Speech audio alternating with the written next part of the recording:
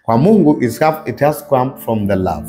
Sisi twapenda kwa sababu yeye alitupenda kwanza, tunasamehe kwa sababu yeye alitusamehe sisi kwanza. Ukifanya kwenye motive which is not rooted in Christ, that's the wrong motive, no matter how good it sounds. Sasa huwezi kumwambia kama usipojua hivyo usifanye, kwa sababu unatakiwa kumfundisha ajue hivyo. Yeah. Yeah. Kwa ukimkuta mtu anafanya mema na haju, amjui Kristo, unamfundisha Kristo ili afanye kwa mentality ya Christ in me or what Christ has done for me. That's why I'm doing. Ndio maana kuna ndio maana dini zote zinafundisha kusamehe zote. Unakumbuka? Unajua hilo? Lakini kinachotofautisha Christianity na dini zingine kufundisha kusamehe, wengine wanasamehe wasiende jehanamu. That's wrong. Wanasamehe ili wageni ahera. That's wrong. Wanasamehe ili mioyo yao isipasuke. Adui zangu nimewasamehe wasipate pressure. That's wrong. Sawa eh? Wanasamehe ili wale watu pia wakikosea nao wasamehe. That's still wrong. The motive for forgiveness iko kwenye nyaraka clearly. Kwenye Waefeso, Paulo ameandika Waefeso 4 kama na Mungu katika Kristo alivyotusamehe. Waefeso 4 31 na 32. In fact inaenda mpaka Waefeso 5 1 na 2. Kwenye Wakolosai the same, Wakolosai 3 13 na 14. Anasema mtu akiwa na sababu ya kumlaumu mwenzake amsamehe kama Kristo alivyomsamehe. Kwa utakiwa kumfundisha mwamini msamaha ambao ni self centered. Msamaha unatakiwa kwa nani? Christ centered. Kama Mungu alivyonitendea mimi, ndivyo ninavyowatendea wengine, sababu the best place to learn love is God action in Christ. He died for you. He considered you. He was thinking of you. Iko sawa? Sasa unaweza kukuta Mkristo anatoa sadaka ukafikiri anampenda Mungu. Mimi amepasta. I preached all kind of con congregations. Nimewahubiria waamini, nimewahubiria wasioamini, nimewahubiria Wakristo ambao hawa hawajui kama wanajua, hawa hawajui. Hawa, sijui sasa mtu ambaye hajui kwamba anajua maana yake nini. Katika mazingira yote hayo, I can show you ya kwamba Wakristo wengi sio watoaji, na ndio maana wachungaji ni wajanja sana. Can I give you a secret? ni wajanja sana, ndio maana kwenye kuwa kwenye wanajua ili mtoe, kwa sababu nyie hamja ni selfish. Anahakikisha anaweka kitu, anaweka anatumia carrot and stick model, either akwambie something bad will happen if you don't give, au anakwambia if you give you get something. Kwa hiyo tunajua mkutano unahitaji hela nyingi, na nyie ni wachoyo na hamjafunzwa pendo la Mungu, kwa hamjakuwa, you are not generous. So kwa sababu you are not generous, I'll push you to give. Sababu even non-generous people can give. Unajua hiyo? Lakini they give with profit mentality. What do I get out of it? Iko sawa? Napata nini nikitoa? That what we do, what we used to do, I don't do it anymore. Uh, nilikuta wanafanya na mimi kafanya. Kila ukifanya mkutano wa Injili, you make sure mwishoni unawaambia waje na bahasha. Ni so true eh? Yeah. Alafu mwishoni unawaambia waambatanishe na maombi. Kwa hiyo I weigh, nataka mtoto wangu afaulu ambaye ananitesa, nataka Mungu ahusike.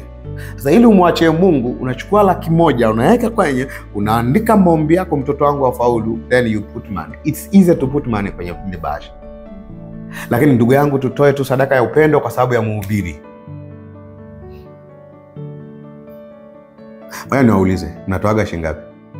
Ikiwa mnatoa bila sababu ambayo ambayo ambayo sababu ya binafsi Ngoja kwanza. e, ambayo genuinely you are not giving to get, you are not doing transaction, you are not investing. Situambie kiuongo uongo, kivyo ambacho okay. We, kuna namna mahali fulani tume practice giving okay. Kabla hujaujua hujaijua kweli, how was your giving okay. Ukiambiwa ambatanisha na maombi yako, how much do you give okay. Ukiambiwa tu Jumapili kikapu kinapita, how much do you put there? elfu moja Stand them up. 5,000 5,000 wengine elfu moja mwingine mia tano nyingine okay.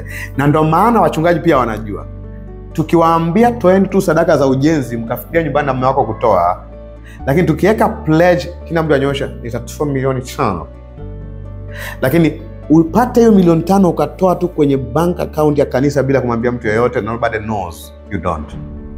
Sababu pride. So when christian are not walking in truth na ndio maana wanajua ile ya kutajana ndo watu watatoa. Watu wanaanguka hela ndefu sana kwenye hiyo. Na ni kweli si kweli? Wanaanguka hela ndefu sana kwenye hiyo. Lakini hatuanguke hela ndefu sana kwa kufanya tu mm. tunafanya kinachoitwa ni kama tunafanya kama makampuni CR, corporate social responsibility CSR watu wanaiona. Watu wanaiona. We like to do that. Kwa nini? We are not matured christian. And we are not given a food that matures so wachungaji kuwalea mkue mwanze kutoa kwa kupenda kiasi kikubwa ni ngumu ni kazi ni biashara ni fundisho ni kila siku kuwaeleza wakuwe katika kristo kuwapa chakula sahihi sio matisho. Mpaka mioyo yao iyeyuke wawe tayari kama kanisa la kwanza watoe mpaka mashamba yao kwa kupenda bila kutishiwa. Iko sawa?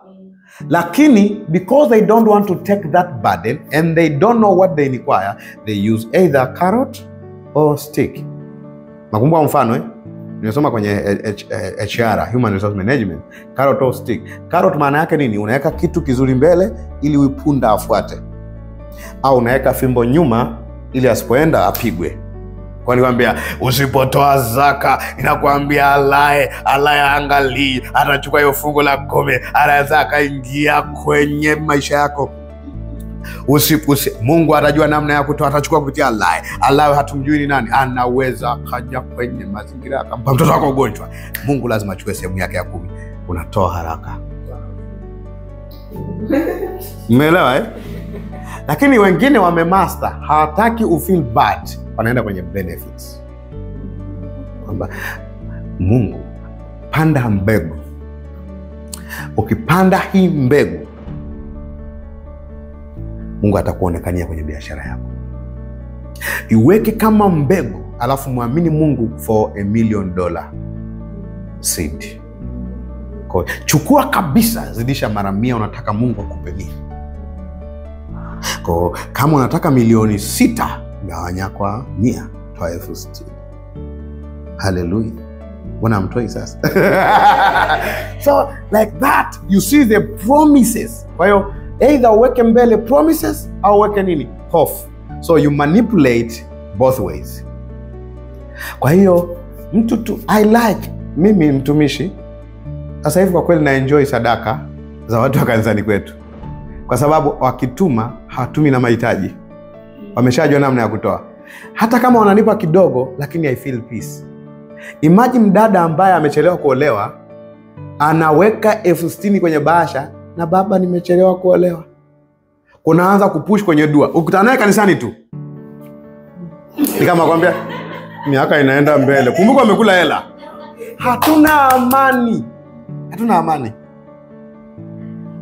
Na hapo sio shida yako. Ana tabia mbaya inayonyima wanaume unaofanya wanaume wakimbie. Maombi hafanyi kazi pale.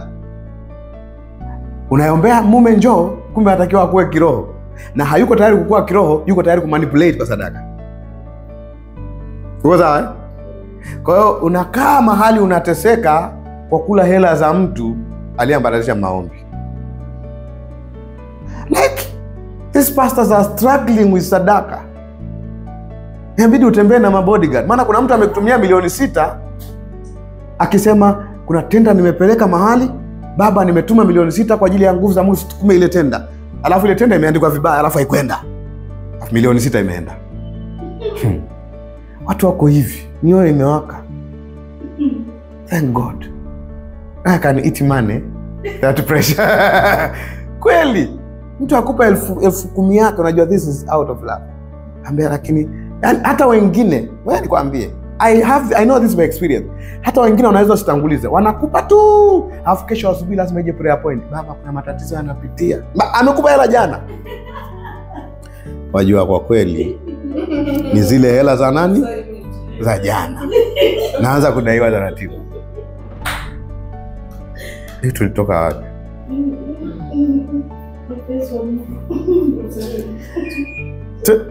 Twende efeso tatu kwa hiyo ndo maana nasema hivi matendo. Mtu asipobadilishwa na neno la mungu akaanza kuwalk in love purely hawezi kuwa na matendo mema. Hata yale mema unayoyaona they have a wrong motive. Na kwa mungu mbali na kwamba mkono wako ni mzuri kutoa lakini kama moyo wako ni mbovu utoaji wako unakuwa matendo mafu. Kwa matendo mafu sio matendo mabaya. Matendo mafu yanaweza yakawa matendo mazuri yanayofanyika out of Christ context and consciousness. Sindio eh? Sio kila mkono unatoa unapenda. Kwao tunasema hivi sio kila penye asema sio kila penye kutoa pana upendo lakini kila penye upendo pana kutoa. Kwa maana jinsi mungu aliupenda ulimwengu akatoa. Motive is what? God's motive is what? Love. Love is not selfishness love is considering another. Iko sawa?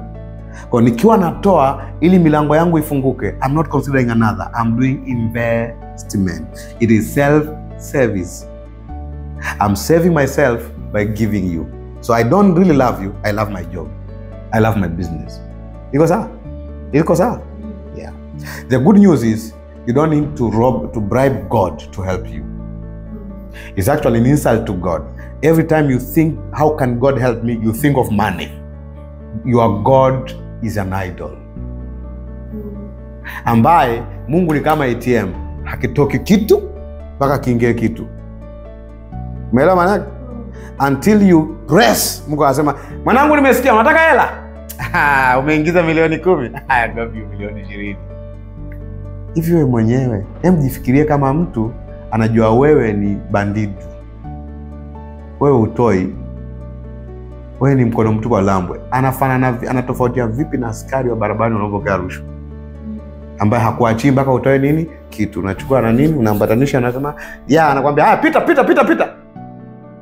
The same to god to many people. Why? Because they are learning wrongly about god's character. Mtu asipojua redemption hawezi kujua god's character mtu asipoelewa alichokifanya kazi yesu kwamba ni free he considered us is out of love. Hawezi kugrow kwenye love of god. That's very important. Okay